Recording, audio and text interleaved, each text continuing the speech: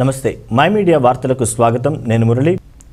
తూర్పుగోదావరి జిల్లాలో జాతీయ కుష్టు నివారణ వారోత్సవాలు ప్రారంభమయ్యాయి. జాతిపిత మహాత్మా గాంధీ వర్ధంతిని పురస్కరించుకుని జిల్లా అధికార యంత్రాంగం అంతా జాతీయ కుష్టు నివారణ దినోత్సవాన్ని నిర్వహించింది. ఇవాటి నుంచి పక్షోత్సవాలు జిల్లా అంతటా నిర్వహించి కుష్టు వ్యాధిపై ఉన్న అపోహలను నివృత్తి చేసే అవగాహన కార్యక్రమంతో పాటు వ్యాధి నివారణపై సభలు ర్యాలీలు నిర్వహించనున్నారు. ఇందులో భాగంగా కాకినాడలో కలెక్టర్ మురళీధర్ రెడ్డి కుష్టు వ్యాధి నివారణ పక్షోత్సవాలను జాయింట్ కలెక్టర్ లక్ష్మీషా నగర మేయర్ శుంకర పావనేలతో కలిసి ప్రారంభించారు. వ్యాధి నివారణకు కృషి చేస్తామని ప్రతిజ్ఞ చేయించారు. వెళ్ళాలి ఈ మందులు నిత్యం వాడాలి.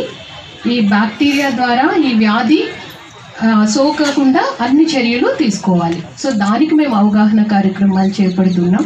మీరందరినీ చూస్తే మీకు ఆ డిఫార్మిటీ ఉన్నప్పటికీ కూడా ఎంతో మందికి మీరు మళ్ళీ షెల్టర్ ఇస్తున్నారని తెలిసింది. చాలా సంతోషం. మీరు మ- చాలా మందికి మీ ద్వారా కూడా అవగాహన కల్పించాలని కోరుకుంటూ ఇంతమంది కార్యక్రమానికి విచ్చేసినందుకు మీ అందరికీ కూడా ధన్యవాదాలు తెలియజేస్తాను. ప్రతి సంవత్సరం కూడా జనవరి ముప్పయో తారీఖుని కుష్టు వ్యాధి నివారణ దినోత్సవం మనం చేసుకుంటూ వస్తూ ఉన్నాము.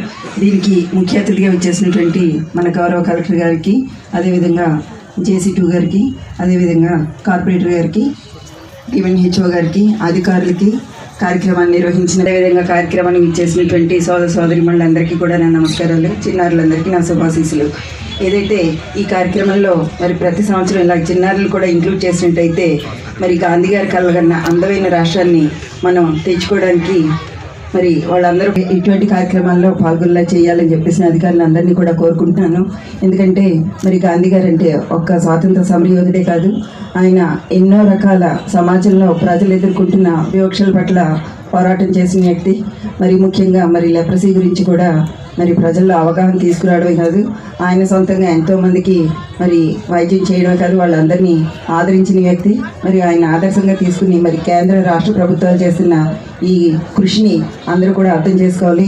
ఏదైతే పదమూడు రోజుల పాటు ఈ అవగాహన కార్యక్రమాన్ని అధికారులందరూ కూడా ప్రజల్లోకి తీసుకెళ్ళినప్పుడు ప్రజలందరూ కూడా సహకరించాలని మీ ద్వారా కోరుకుంటూ నాకు ఈ అవకాశం ఇచ్చినందుకు ధన్యవాదాలు. సెలవు తీసుకుంటాను.